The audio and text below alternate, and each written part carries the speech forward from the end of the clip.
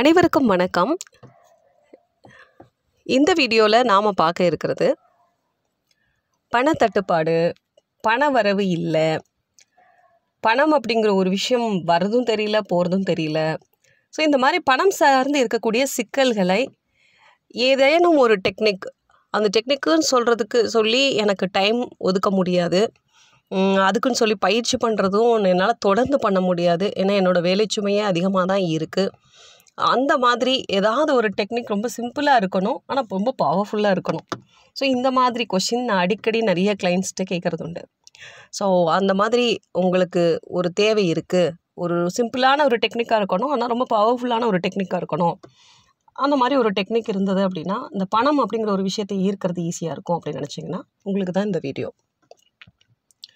இப்போது நமக்கு வந்து நம்ம பண்ணக்கூடிய பணத்தை வந்து நம்ம ஈர்க்கணும்னு சொல்லி நம்ம செய்யக்கூடிய எல்லா பயிற்சிகளோடைய அந்த பேஸ் என்ன அப்படின்னா ரெண்டு விஷயத்த ஒன்றிணைக்கணும் அப்படிங்கிறது தான். ஒன்று இந்த பிரபஞ்ச பேராற்றலோட அந்த அந்த பே பிரபஞ்ச பேராற்றலுக்குன்னு சொல்லிட்டு ஒரு ஹையர் கான்ஷியஸ்னஸ் இருக்குது அதுக்கே ஓனாக சுயமாக ஒரு ஹையர் கான்ஷியஸ் இருக்குது அதாவது நம்ம பாடிக்கு இருக்கிற மாதிரி.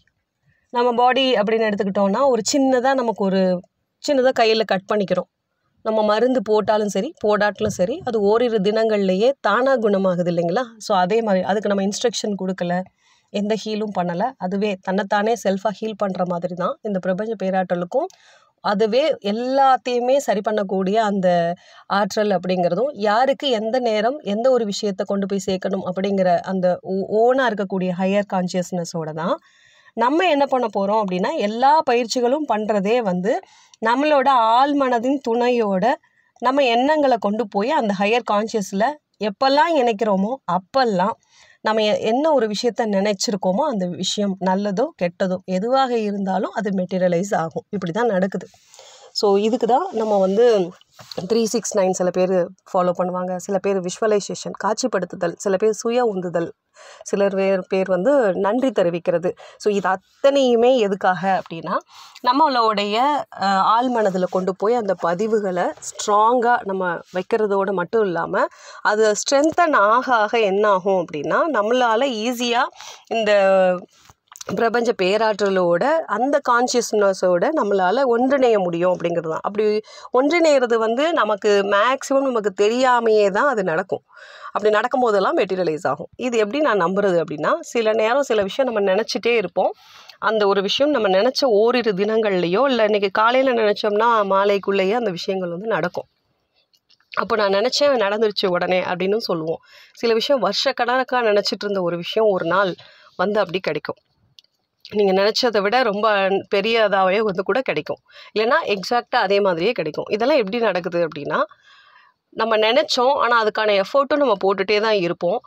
இது இந்த இதில் இருக்கக்கூடிய சூட்சமம் வந்து ரொம்ப பெரிய யாருமே புரிஞ்சுக்க முடியாத அளவுக்கான விஷயங்கள் கிடையாது. ரொம்ப ரொம்ப சிம்பிள் தான். நம்ம வந்து நினைக்கக்கூடிய ஒரு விஷயம் வந்து ரொம்ப தெளிவாகவும் நேர்த்தியாகவும் ஏன் உனக்கு இது வேணும் அப்படின்னு கேட்டால் ரொம்ப ப்ரிசைஸ்டாக சொல்ல தெரியணும். இதுக்காக எனக்கு இது வேணும் அப்படின்னு சொல்லிட்டு.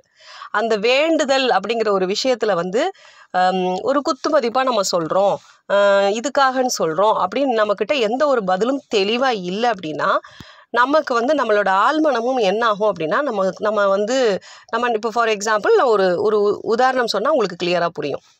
எனக்கு இம்மிடியேட்டாக ஒரு கோடி ரூபாய் வேணும் அப்படின்னு நம்ம நினைக்கிறோம்.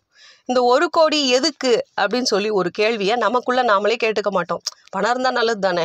அப்படிங்கிற ஒரு ரேண்டமாக ஒரு பதில் இருக்கும். இந்த ரேண்டம் அப்படிங்கிற ஒரு விஷயம் நம்ம ஆள் மனதில் கொண்டு போய் அந்த விஷயத்தை சேர்க்கறது அப்படிங்கிறது நடக்காத காரியம்.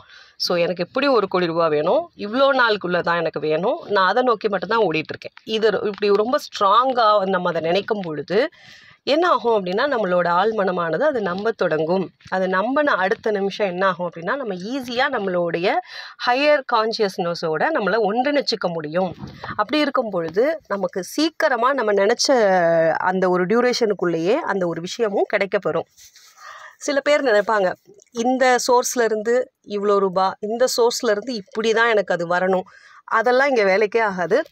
பணம் வேணும் அப்படின்னு நினச்சிட்டிங்க அப்படின்னா அது எங்கே இருந்து வரும் எப்படி வரும் எதன் மூலமாக வரும் அப்படிங்கிறதெல்லாம் வந்து உண்மையாகவே அந்த ஹையர் கான்ஷியஸ் நமக்கு முடிவு பண்ணிக்கும். ஸோ நமக்கு அந்த கஷ்டம் கிடையவே கிடையாது. ஆனால் நம்ம அதை புரிஞ்சுக்காம எல்லாமே நம்மளால் நடக்கு அப்படின்னு நினச்சிக்கிட்டு நம்ம வந்து நிறையா வந்து சிம்பிளாக முடிகிற விஷயத்த கூட காம்ப்ளிகேஷன் பண்ணுறதே காரணம் என்னென்னா என்ன குவியல்கள் அங்கே அதிகமாகும் போது அந்த காம்ப்ளிகேஷன்ஸுங்கிறது தானாக நடக்கும். ஸோ அப்போது ஒரு பணம் வேணும் அப்படின்னு நம்ம நினச்சிட்டோம் அப்படின்னாலே இதுக்காக ரொம்ப வருத்தப்பட வேண்டிய அவசியம் இல்லை. ஏன்னா பணம் வேணும் அப்படின்றவங்க எல்லாத்தையும் நம்ம ஒரு கேள்வி கேட்டோம் அப்படின்னோம்னா பணம் வேணும் அப்படிங்கிறத விட பணம் இல்லையே பற்றாக்குறையாக இருக்கேங்கிற வருத்தம் தான் அதிகமாக இருக்கும். நான் எவ்வளவோ உழைக்கிறேன் ஆனால் அதுக்கான பணம் எனக்கு வரவே மாட்டேங்கே சொல்லி அந்த வருத்தம் தான் இருக்கும். பணத்தை எங்கெல்லாம் செலிப்ரேட் பண்ணுறாங்களோ அங்கெல்லாம் பணம் மேலும் மேலும் சேர்ந்துட்டே இருக்கும். பணத்தை வந்து கொண்டாட தெரியல பணத்தை வந்து கரெக்டாக பயன்படுத்த தெரியல. பணங்கிற ஒரு விஷயத்தையே வந்து அவங்க ரொம்ப அது நம்மளை விட்டு போயிருமோன்ற அச்சத்தோடையே ஹேண்டில் பண்ணுறவங்க கிட்ட பணம்ங்கிற ஒரு விஷயம் வந்து அவ்வளோ ஈஸியாக வர்றது கிடையாது. அப்படியே வந்தாலும் தொடர்ந்து வர்றது கிடையாது அப்படிங்கிற ஒரு விஷயத்த பார்க்க முடியும். அப்போ எப்படி நினைக்கிறது அப்படின்னு கேட்டால் ரொம்ப சிம்பிளாக தான் பணம் வேணும் அப்படின்னா ஏன் வேணும் அப்படிங்கிறதுக்கு ஸ்ட்ராங்காக ஒரு ரீசனை மட்டும் நமக்கு நாம் சொல்லிக்கணும்.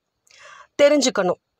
ஸோ அது வந்து பிளானிங்லேருந்து ஸ்டார்ட் பண்ணணும். ஏன் எனக்கு பணம் வேணும்? அந்த பணம் வந்ததுன்னா நான் என்ன பண்ண போகிறேன் அப்போது எனக்கு அல்டிமேட் தேவை இவ்வளோ இருக்குது அப்போது நான் அதை நோக்கி தான் என்னுடைய அடுத்த மூ எல்லாமே இருக்குது அப்படிங்கிற மாதிரி ரொம்ப நேர்த்தியாக அதை பற்றி நம்ம நினச்சி செயல்பட செயல்பட ஏன்னா நம்மளோட வேர்ட்ஸை வந்து கண்டிப்பாக நம்மளோட மைண்ட் வந்து பின்பற்றி போயிட்டே இருக்கும் அப்படிங்கிறது தான் ஸோ அப்போ நம்ம பயன்படுத்தக்கூடிய வார்த்தைகள் வந்து ரொம்ப ஸ்ட்ராங்காக இருக்கும்போது நம்ம நை மைண்டும் அதை வந்து அப்படியே ஃபாலோ பண்ணிட்டு போகும்.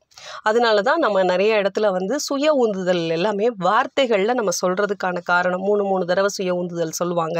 இரவு தூங்கும் முன்பு சுய உந்துதல் சொல்லுவாங்க.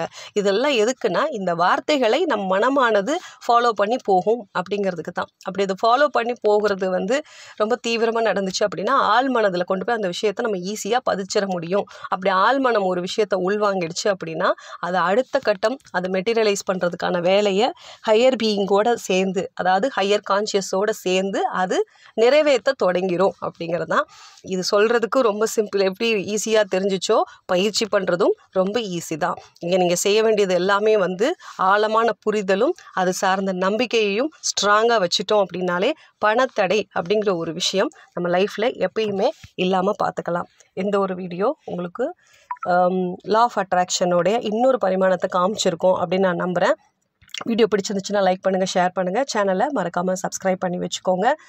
நீங்கள் சப்ஸ்கிரைப் பண்ணும்போது ஆளுங்கிற ஆப்ஷனையும் சேர்த்து நீங்கள் கிளிக் பண்ணி வச்சிங்கன்னா தான் என்னோட எல்லா வீடியோவும் உங்களுக்கு தெரியும். நோட்டிஃபிகேஷனில் வரும். இல்லை அப்படின்னா நீங்கள் சப்ஸ்கிரைபராக மட்டும்தான் இருப்பீங்க. நீங்களாக வந்து தான் நம்ம சேனலில் பார்த்து புது வீடியோ வந்திருக்கு அப்படிங்கிறத தெரிஞ்சுக்க முடியும். ஏன்னா நிறைய பேர் கேட்குற கேள்வியாக இருக்குது. நான் சப்ஸ்கிரைப் பண்ணியிருக்கேன். ஆனால் உங்களோட வீடியோ வந்துச்சுன்னா எனக்கு காட்ட மாட்டேங்குது நோட்டிஃபிகேஷன்லன்னு சொல்கிறீங்க நீங்கள் அந்த ஆளுங்கிற ஆப்ஷனை வந்து கிளிக் பண்ணியிருக்கீங்களான்னு பாருங்கள் நம்மளோட ஓல்டு வீடியோஸ் எல்லாம் எப்படி பார்க்குறதுன்னு நீங்கள் கேட்குறீங்க பிளேலிஸ்ட் அப்படின்ட்டு ஒரு மேலே பார்த்தீங்கன்னா நீங்கள் பார்த்துட்டு இருக்கிறதுலே ஹோம் பிளேலிஸ்ட் நிறைய ஆப்ஷன்ஸ் இருக்கும். ஷார்ட் வீடியோ பிளேலிஸ்ட்டுன்னு இருக்கும். ஐ திங்க் மூணாவதாக வரும்னு நினைக்கிறேன். நீங்கள் அதை போய் கிளிக் பண்ணிங்க அப்படின்னா நம்மளுடைய பிளேலிஸ்ட்டுக்குள்ளே அற்புத மலர் மருந்துகள் தாந்திரிக் ரெமெடிஸ் அப்புறம் psychology and B F R அப்படின்ட்டு இருக்கும். ஸோ இது எல்லாமே வந்து உங்களுக்கு எந்த ஏரியா இன்ட்ரெஸ்டடாக இருக்கோ ஸோ அதுக்கான வீடியோஸ் அதுக்குள்ளே இருக்குது நீங்கள் அந்த வீடியோஸ் மட்டும் போய் பார்க்கலாம். எனக்கு மலர் மருந்து மட்டும்தான் வேணும்னா அற்புத மலர் மருந்துகள் பிளேஸ் பிளேலிஸ்ட்டில் போனீங்கன்னா தெரியும். அது மாதிரி நான் டெஸ்டிமோனியல் வீடியோஸ் பார்க்கணும்னு நினைக்கிறேன். இந்த சிகிச்சையெல்லாம் எடுத்து பலன் பெற்றவங்க என்ன சொல்லியிருக்காங்க பார்க்கணும்னு நினைக்கிறேன். சக்ஸஸ் இருக்கான்னு பார்க்கணும்னு நினைக்கிறீங்க அப்படின்னா டெஸ்டிமோனியல்னு சொல்லிட்டு ஒரு இது பிளேலிஸ்ட் இருக்கும். நீங்கள் அதில் போய் பார்த்தீங்கன்னாலும் உங்களுக்கு நிறைய வீடியோஸ் வந்து அதில் கிடைக்கும். உங்களுக்கு நேரடி ஆலோசனை மலர் மருத்துவ ஆலோசனை மனநல ஆலோசனை உங்களுக்கு ஹீலிங் ரிலேட்டடாக எதுவும் உங்களுக்கு உதவிகள் தேவைப்படுது அப்படின்னா ஸ்க்ரீனில் தெரிகிற எண்ணுக்கு நீங்கள் வாட்ஸ்அப் மூலமாக தொடர்பு கொள்ளலாம்.